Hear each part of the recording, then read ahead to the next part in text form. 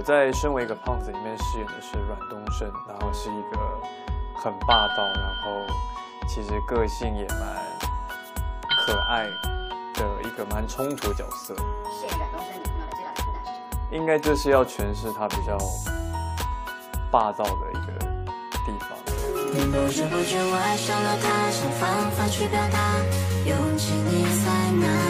那么多路人甲，阻挡不了这个角色会去学习一下做菜？有，然后其实剧组也有安排，就是去厨房，然后请老师就是教学。那您现在最擅长的？番茄炒蛋是我很喜欢吃的，但其实也没有难度。第一次和前嗯，其实我第一次见到他，我还蛮紧张的。后来是慢慢的就是试着去聊天，然后什么的，然后就其实她是一个非常可爱的女生，然后很活泼。她其实是每天都带给大家很大的能量，因为她就是不管昨天拍到几点，她隔天起来在现场就是非常有活力，然后就觉得哇，这不累吗？就有在 follow 这样子，就是有在看他就是忙什么，很希望可以自己去挑战一些比较反差的角色，可能像是反派，或者是跟自己内心还有外在的一些冲突的角色。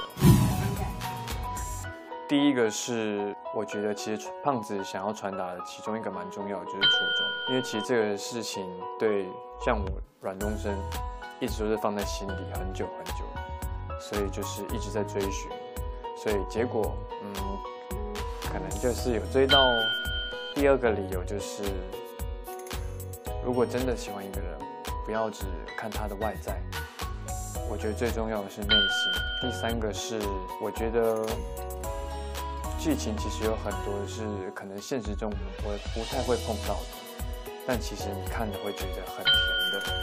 那我会觉得，希望大家就是看的时候可以觉得很开心。年上和年下，年下。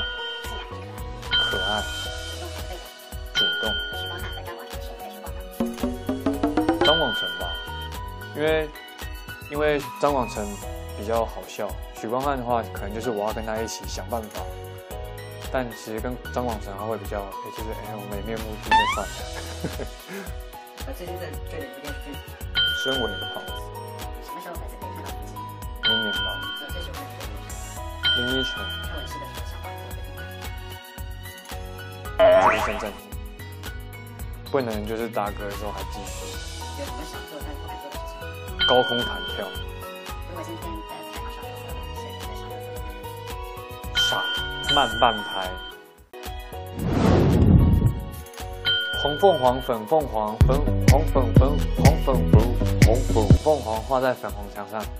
出东门过大桥，大桥底下一树枣，拿着杆子去打枣，青得多红的少。